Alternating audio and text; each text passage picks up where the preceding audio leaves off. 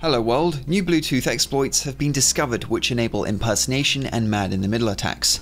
There's a new Apple M1 vulnerability and it's impossible to fix. And WhatsApp sues India for mandating mass surveillance. That's in today's episode of The Week Web where we break down and dissect cybersecurity related tech news. The first major Bluetooth security flaws which effectively break Bluetooth's connection mechanism have been uncovered. A French national security agency has published a very detailed paper in which they discuss seven new vulnerabilities in Bluetooth's pairing process.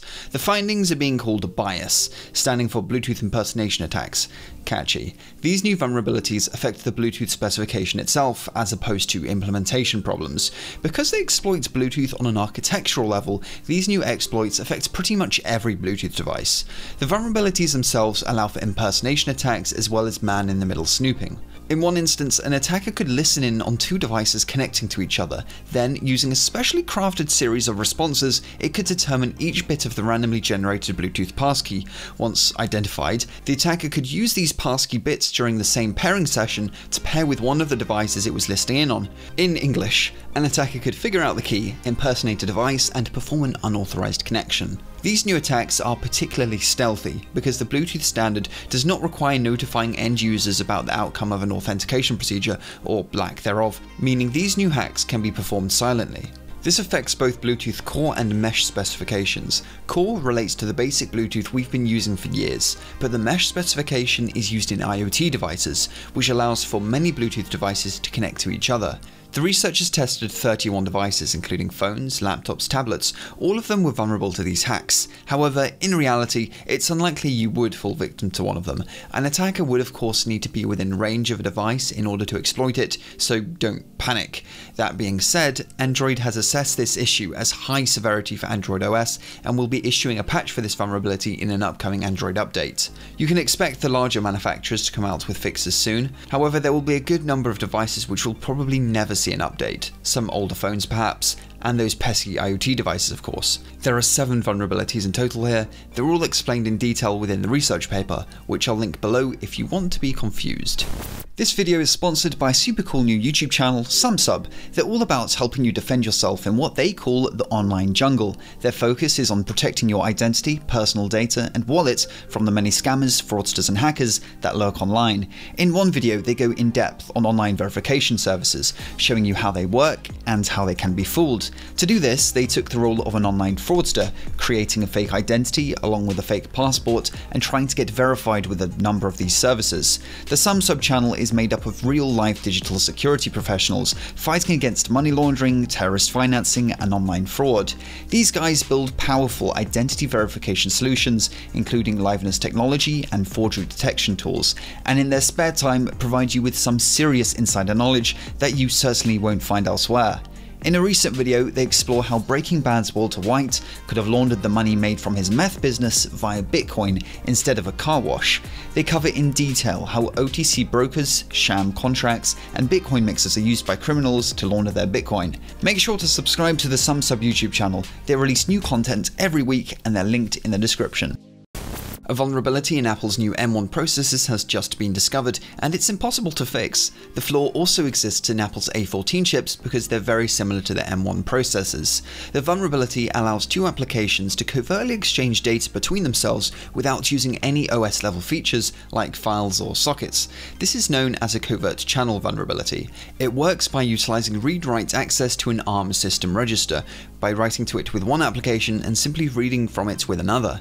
The proof of concept uses little more than a dozen lines of code, so it's fairly simple.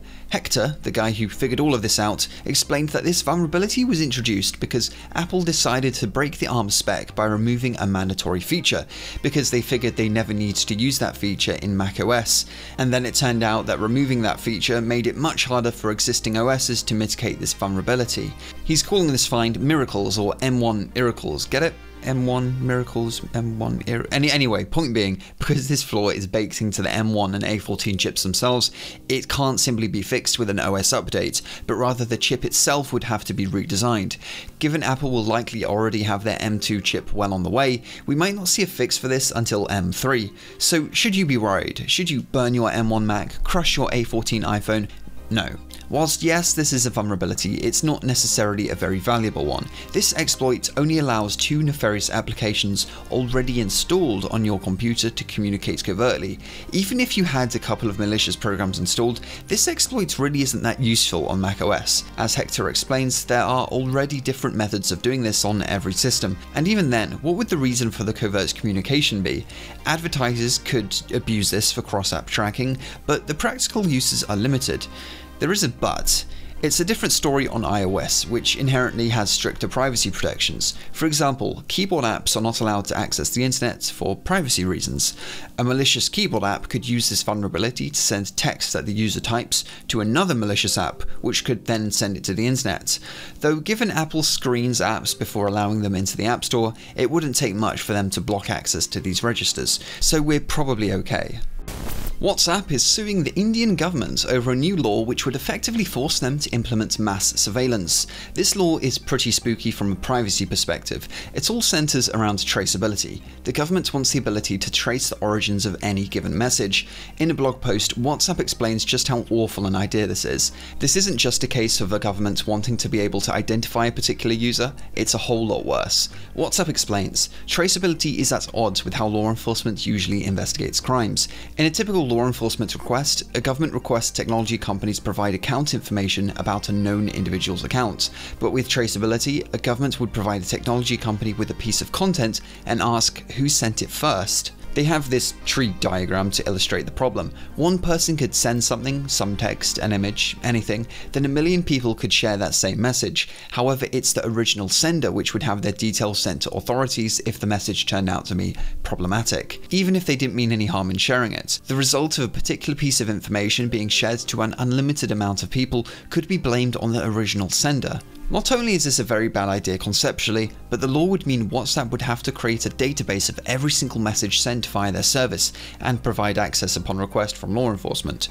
WhatsApp has 530 million users in India, it's their largest market.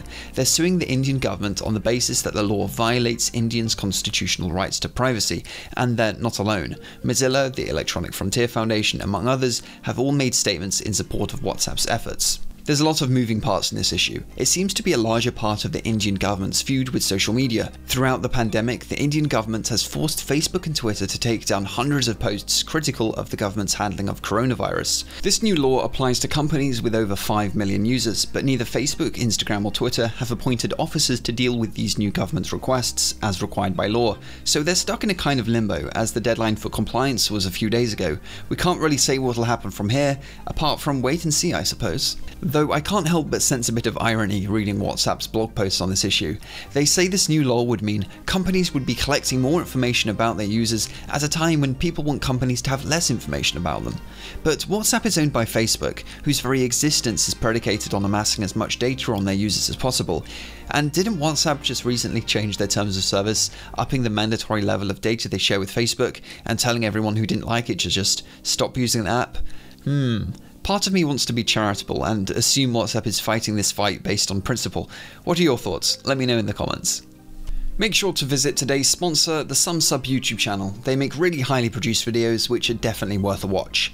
If you want to see more of this kind of video, make sure to let me know in those comments and turn on those sub notifications so you don't miss any hacking news. For behind the scenes footage, do follow me on the Instagrams. As always, sources will be linked in the video description. Stay tuned for more hacking videos and have a good one.